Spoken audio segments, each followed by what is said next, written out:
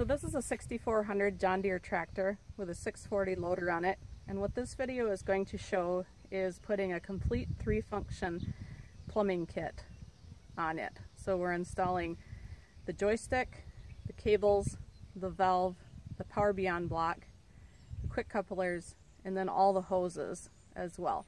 So we'll show quite a few close-up shots of exactly which hoses go to which ports, where the Power Beyond block goes, etc. Before actually starting to install each of the pieces of the joystick kit, it's a good idea to lay everything out in the order that you're going to install it along with the tools you need, just so everything flows smoothly, and then also read through the instructions before you begin also. So the very first step that we're going to do is we're going to put the Power Beyond block onto the back of the tractor.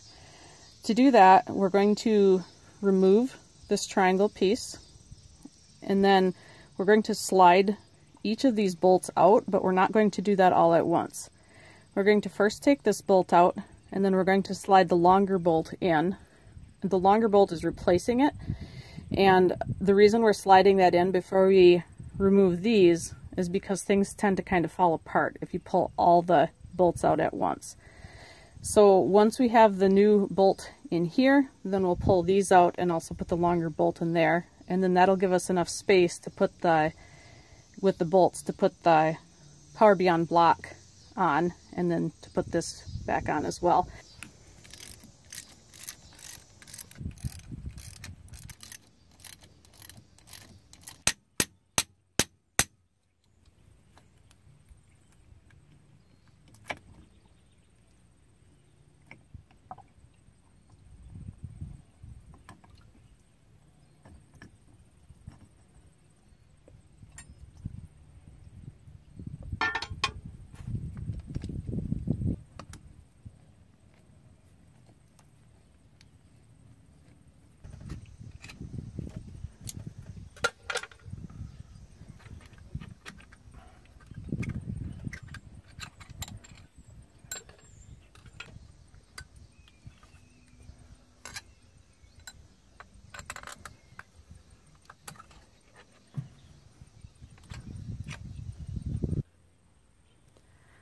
So now we've got all three of the longer studs installed. And so now we're ready to put the Power Beyond block.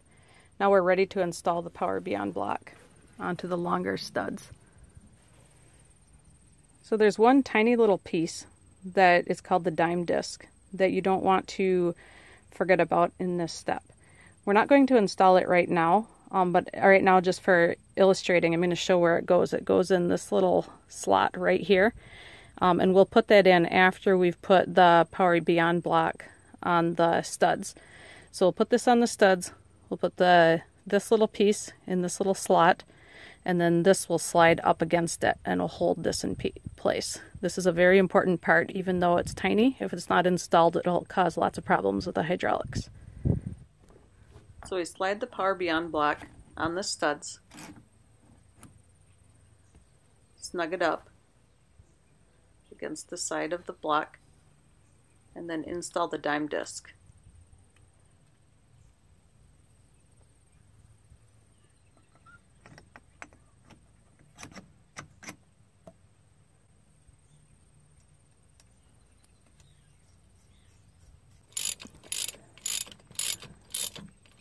So now we have the Power Beyond block installed and there's three ports that we're going to be working with. This port, this port, it's a little bit too hard to see, but down underneath, there's a little bit of a smaller port.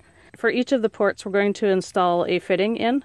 We're going to install the smaller fitting down into the Power Beyond port, the smaller port way down under there. These two larger fittings we're also going to install for the pressure and the return. So these are the same exact fittings, but the pressure is, um, this is going to be the pressure port, and then that's the return port right there. So we're installing three fittings, the pressure, the return, and the load sense. And then after that, we will attach the hoses to the fittings. Here we're installing the Power Beyond fitting.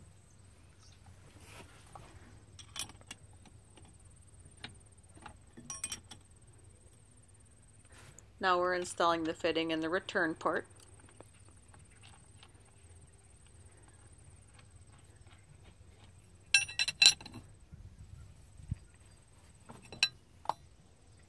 And now we're installing the fitting in the pressure port.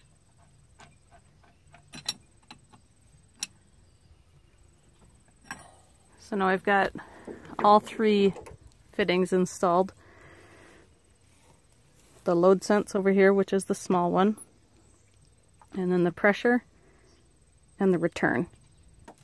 We start with the load sense hose, working it up with one end towards the front right part of the cab where the valve is going to be mounted and then attaching the other end to the load sense port on the Power Beyond block.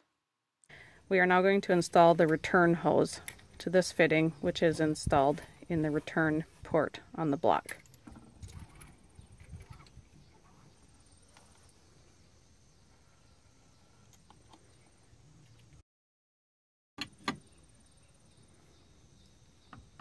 So now the return hose is installed. The next step is going to be installing the pressure hose.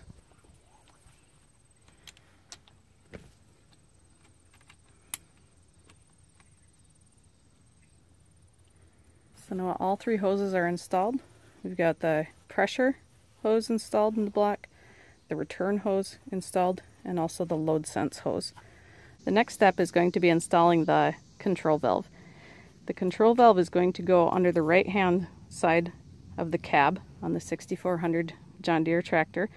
And the first step that we're going to do is install, we're going to remove a couple of the a couple of the bolts and then install the bracket that will hold the valve.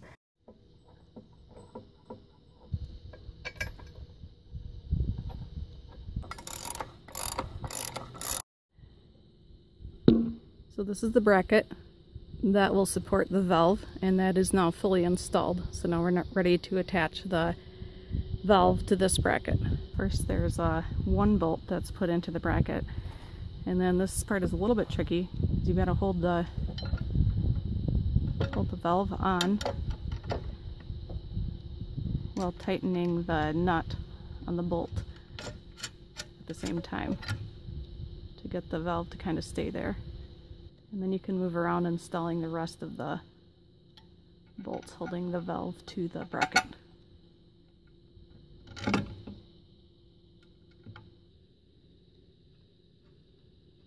So the first step was finger tightening all the bolts and then to come back with uh, tools and tighten them with wrenches. So that's been done. The um, valve is now tightly installed on the valve bracket.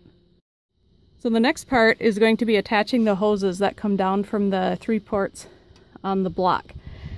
As you saw earlier in the video, there were three ports on the block. They were the pressure, the return, and the load sense. So I'm going to show here which port is which on the valve this is the part that a lot of times gets installed incorrectly. And if you install your any of the three hoses into the wrong port on the valve, things won't work correctly.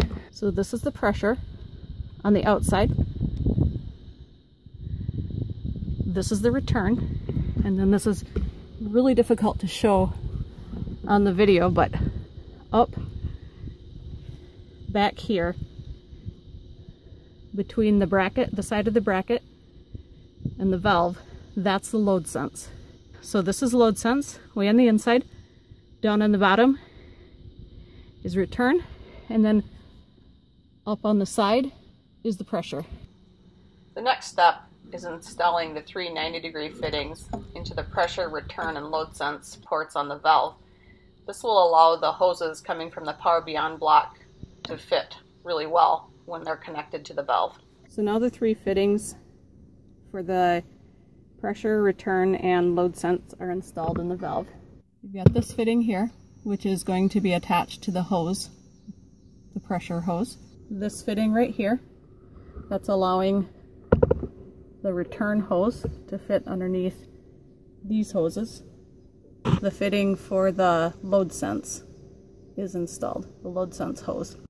So now we're installing the three hoses that are coming down from the Power Beyond block, starting with the load sense line. Now we're attaching the return hose, and then the final hose for this part of the process is the pressure hose. So now all the hoses are installed coming down from the block to the valve. The pressure, the return, and the load sense. The next step is going to be installing fittings in these six ports here. Those fittings will attach to hoses that then go to the quick couplers and from the quick couplers on up to the steel lines on the loader. There's two fittings per port. There's a straight fitting, which we start with, and then there's going to be an L-shaped fitting, which goes on that, and that allows the hose to be pointing in the correct direction. So now we're installing the second fitting, which is the L-shaped one, which attaches to the straight fitting, which went into the port as the first step. The hose will actually be attached to this L-shaped fitting. So as you can see here, all six ports now for the hoses that are going to go up to the quick couplers and then to the steel lines on the loader are installed. The next step is, before we actually attach the hoses to these fittings, what we're going to do is install the quick coupler plate and the quick couplers, and then we'll attach the hoses that go between these fittings and the quick couplers. So here we got the quick coupler plate, which has the six holes in it, which the quick couplers will be installed in. And we've got it attached to a little tab that is on the mounts. This is a Legend uh, mount and 640 loader that we're working with, so this tab was uh, uh, automatically included with the mount. With a John Deere, it may or may not be there, but you could easily weld the little tab on to attach the plate to. So what we're doing here is attaching the two first quick couplers that we installed to the hoses, to two of the hoses that'll go down to the fittings on the valve and we're installing these two at a time so that things don't get too crowded.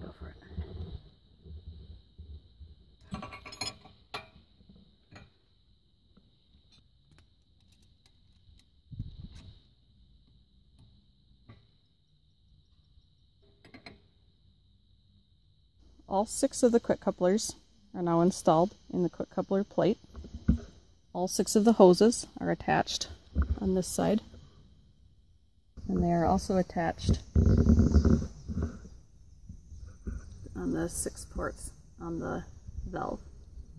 A closer look at these hoses, um, these two and these two will be controlling the lift and lower and tilt and retract on the bucket. And then these two hoses, this hose and this hose, you notice that they line up with the solenoid block right here. Um, that is, there's a solenoid block on the other side as well. That is basically, it's a little bit difficult to see, but that is the electric third function, um, which is controlled with buttons on the joystick handle and which is opening and closing the grapple. The next step is going to be attaching the next set of six hoses that are going to go from the quick couplers up to the steel lines. Alright, so the next step is taking off the female part of each quick coupler set and then threading on the elbow shaped fitting. And then um, this fitting will be attached to the hose that goes up to the steel lines on the loader. So that'll be attached there, we'll thread that on and then we'll attach the female quick coupler to the male side of the quick coupler on here. And then notice too that the um, plug, the plug has been installed. This is used for keeping the um, quick coupler clean when you're taking the loader off.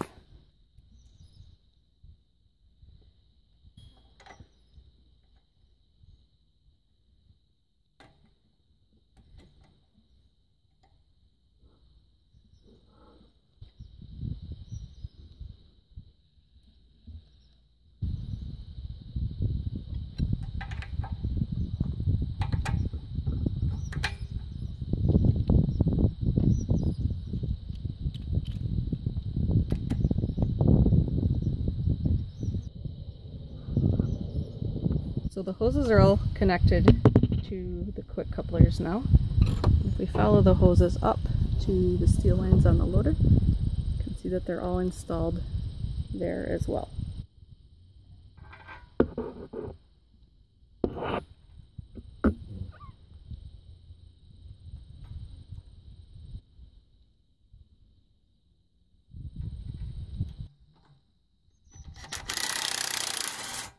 Uh, the bracket with the hose, hose clamps has been installed here. This is keeping the hoses that are going from the quick couplers up to the steel lines on the loader, keeping them nice and tidy. The next step is going to be installing the brackets for the joystick.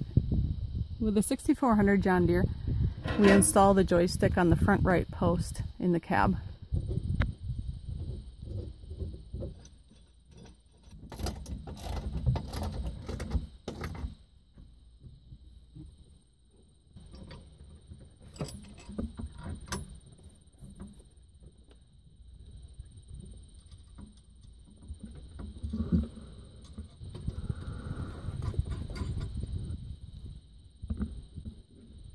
This is a hole that was actually drilled in the floor of the tractor to make room for the cables as well as the wires that go from the buttons on the joystick down to the third function on the valve. So here what we're showing in the video is putting the cable ends down through the hole so that they can be attached to the valve.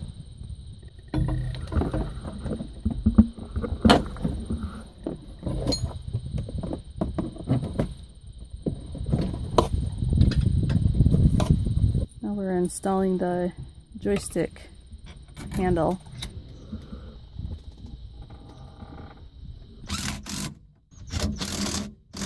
You can see that there's two brackets here that are holding the joystick.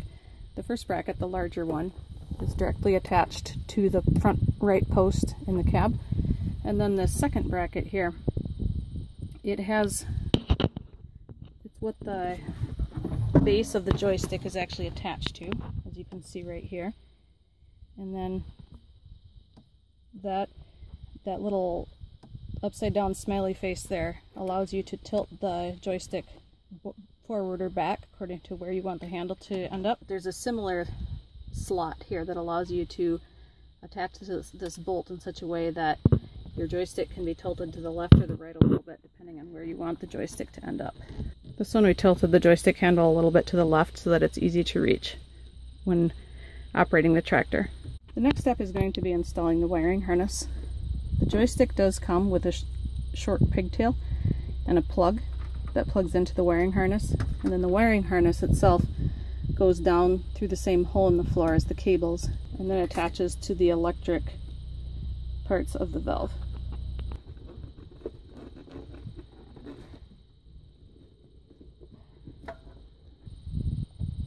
This is the part of the wiring harness that plugs directly into the pigtail on the joystick.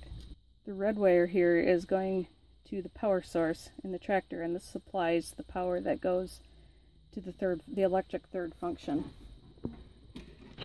We do include this standard plug in the kit and if you have it it's a nice feature if you have a plug that that can plug into it's a nice feature because this will attach directly to this and then you're done. You've got your power source connected.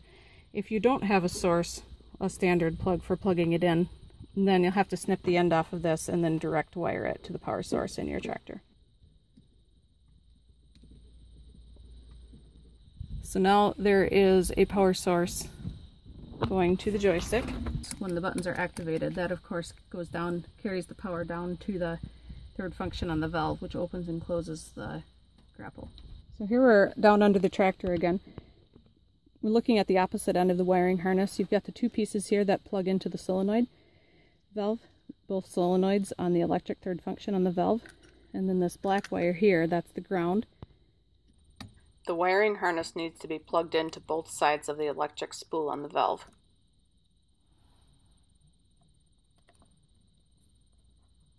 So what we're showing here is attaching the ground on the wiring harness can go to any piece of metal and make sure you've got a good ground. You don't want to attach it to a piece of metal with thick paint on it because that might affect the quality of the ground. Before actually installing each cable tip, you'll want to make sure that you know which tip is the raise and lower and which one is the tilt and retract. So a little trick for doing that is the first thing is to pull out the lockout tab on the joystick which unlocks the joystick. You see the one that's the cable tip that is moving in and out, that's going to be your one that you use for the raise and lower of the loader. Once you've established that, you um, you can mark this or set this in such a way that you remember which one is which, and then it's really important that you push the lock tab in again on the joystick.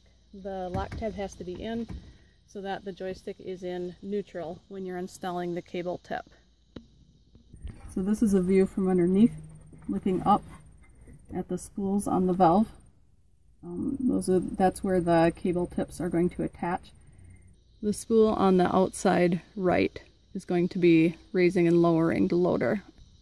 The final step in installing the kit is attaching both cables to the spools on the valve. This video is just giving an overview of showing how the cables are connected. We do have a separate video that gives the specifics on exactly how the different cable connector pieces all hook together.